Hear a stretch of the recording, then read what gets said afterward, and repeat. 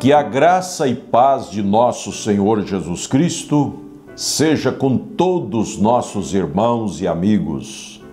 Mais uma vez aqui estamos para levar até você reflexão para a vida. É mais uma oportunidade que eu tenho de levar a você algo que possa lhe encorajar, lhe fortalecer nesses dias maus em que estamos vivendo. Hoje nós vamos falar sobre um rei que tinha quatro esposas. Um rei que tinha quatro esposas. Era uma vez um rei que tinha quatro esposas. Ele amava a quarta esposa demais e vivia dando presentes, joias e roupas caras. E ele lhe dava de tudo e sempre o melhor para sua quarta esposa. Mas este rei também amava a sua terceira esposa e gostava de exibi-la aos reinados vizinhos.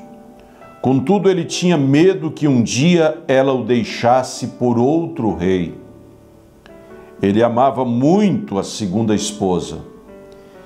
Ela era sua confidente e estava sempre pronta para ele, com amabilidade, paciência.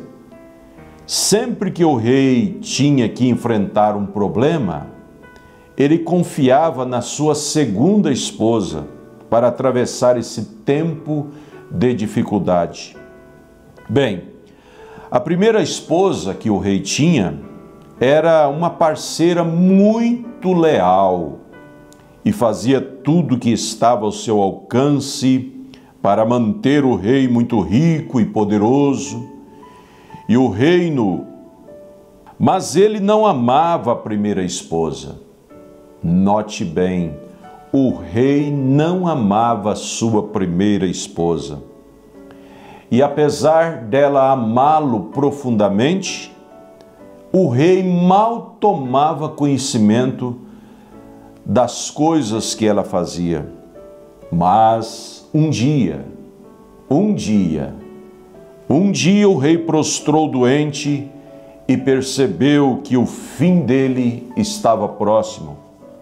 Então, ele pensou em toda a luxúria que ele tinha em sua vida.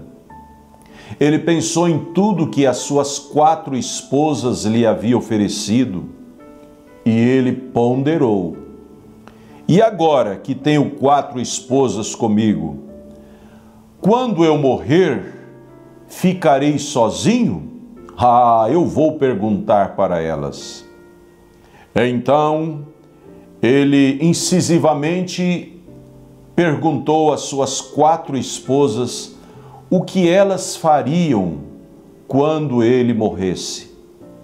Ele perguntou à quarta esposa: Eu te amei tanto, querida, te cobri com as mais finas joias, mostrei o quanto eu te amava, cuidando bem de você. Agora que eu estou morrendo, você é capaz de morrer comigo para não me deixar sozinho? De jeito nenhum, respondeu a sua quarta esposa. Respondeu a quarta esposa, saindo do quarto sem olhar para trás. A resposta que ela deu cortou o coração do rei, porque ela disse: De jeito nenhum. Tristemente, o rei perguntou para a terceira esposa: Eu também te amei tanto a vida inteira, e agora que estou morrendo, você é capaz de morrer comigo? Não, não e não, respondeu a terceira esposa. A vida é boa demais, eu vou me casar de novo ah, ouvintes, o rei, ao ouvir isto, o seu coração sangrou de tanta dor. E ele perguntou então à sua segunda esposa: Eu sempre recorri a você quando precisei de ajuda. Você sempre esteve ao meu lado. Você será capaz de morrer comigo? Sinto muito, respondeu a segunda esposa. O máximo que posso fazer é te enterrar. Esta resposta veio como um trovão na cabeça do rei. Daí uma voz se fez ouvir: Eu partirei com você, o seguirei por onde você for. Quando o rei levantou os seus olhos, lá estava sua primeira esposa, tão magra, mal nutrida, tão sofrida, abandonada, mas, apesar de tudo isto, quando o rei estava prestes a morrer, ela disse: Eu irei com você, onde quer que você for. Então o rei disse: Ah, como eu deveria ter cuidado melhor de você! Como eu deveria ter te amparado melhor! Como eu deveria ter te dado mais presentes e mais cuidado! enquanto eu podia. Na verdade, ouvintes, todos nós temos quatro esposas em nossa vida. Nossa quarta esposa é o nosso corpo. Apesar de tanta luxúria, um dia ele nos deixará quando morrermos. Nossa terceira esposa são nossas posses e propriedades. Quando um dia morrermos, tudo isso nos deixará e vai para outras pessoas. Nossa segunda esposa é a nossa família, e apesar de nos amar, o máximo que eles podem fazer a nós quando estivermos prestes a morrer é nos enterrar. A primeira esposa é a nossa alma a primeira esposa é a nossa alma. Muitas vezes deixamos de lado por perseguir durante a vida. A nossa alma está sempre no nosso encalço. Toda a riqueza, o poder e os prazeres do nosso ego. Apesar de tudo, nossa alma é a única que irá conosco. Não importa onde formos, a nossa alma sempre nos acompanhará. Se você morrer, a tua alma te acompanhará. Só há dois endereços para qualquer tipo de pessoa quando morre: o inferno ou a Nova Jerusalém. Portanto, nós lembramos da citação do Senhor em São Mateus capítulo 16 e verso 26. Pois que aproveita o homem ganhar o mundo inteiro e perder a sua alma? O que aproveita o homem ganhar o mundo inteiro e perder a sua alma? Ou que dará o homem recompensa a sua alma?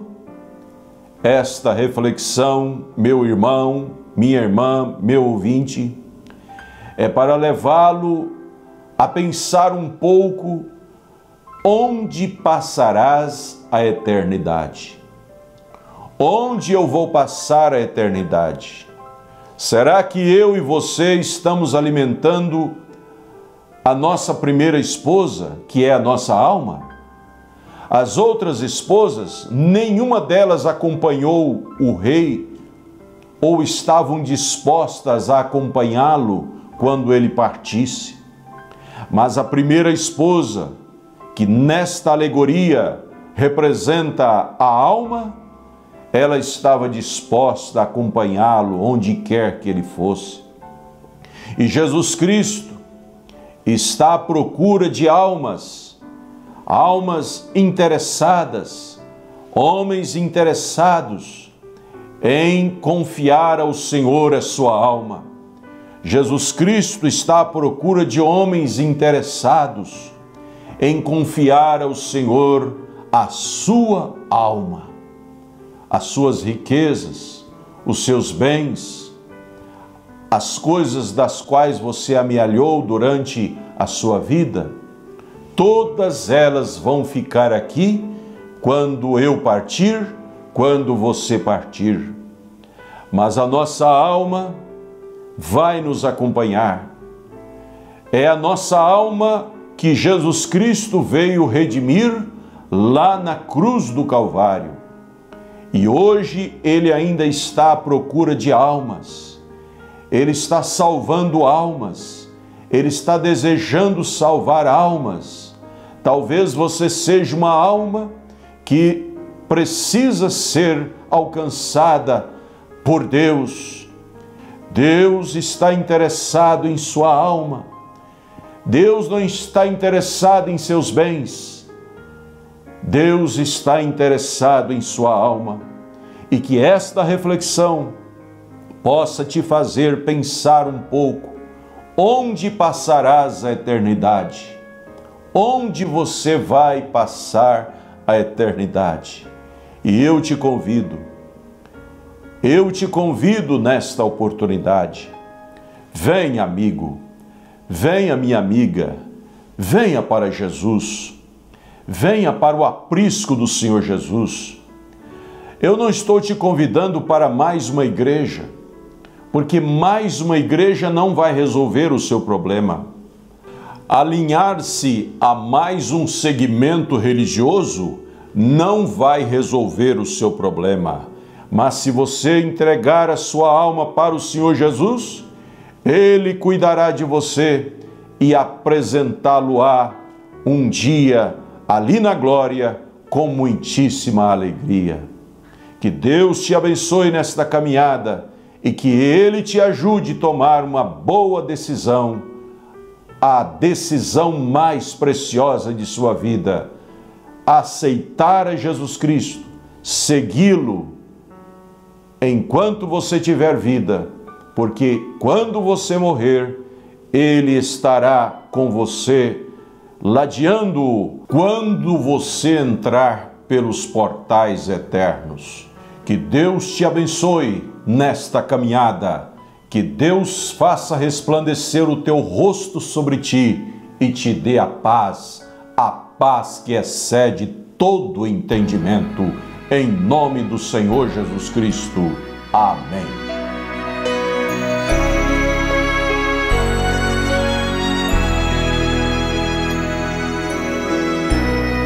Ninguém quer acreditar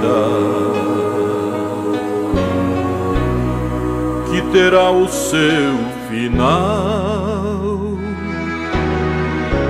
Sonhando querem viver,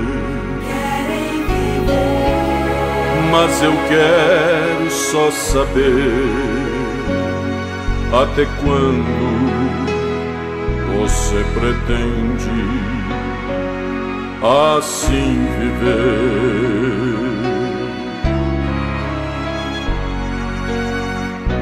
Põe a mão no teu coração,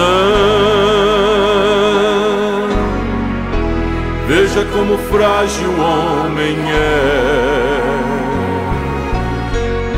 Em um minuto pode acabar o teu orgulho, o teu sonhar.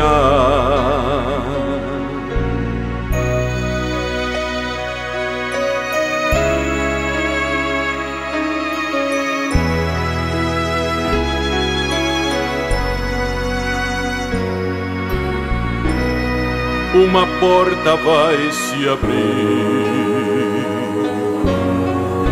aonde tudo registrado está como está seu proceder?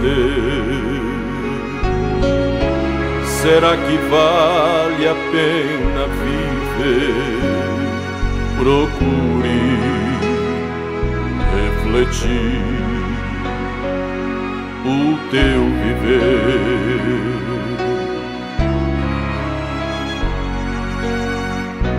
Põe a mão no teu coração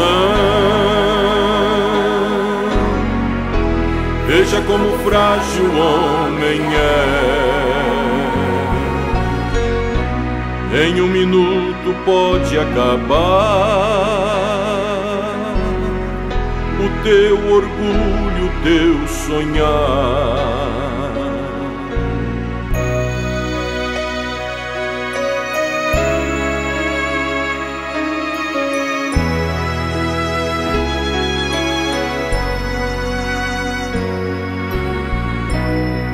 O bom mestre te convida. Desperta e venhas navegar. O barco é o Evangelho, o remo é fé no Salvador. Venha logo, ele te convida para celebrar.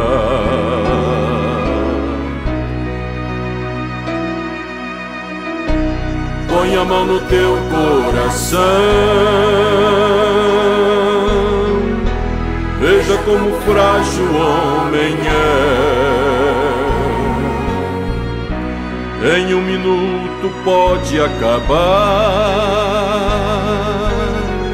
o teu orgulho, sonhar. Põe a mão no teu coração, veja como frágil o homem é.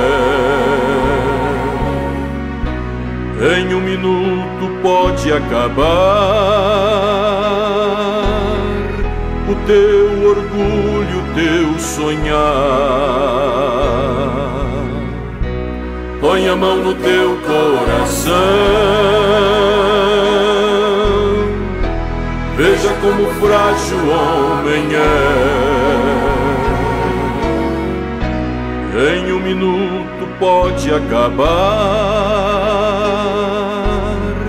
o teu orgulho, o teu sonhar.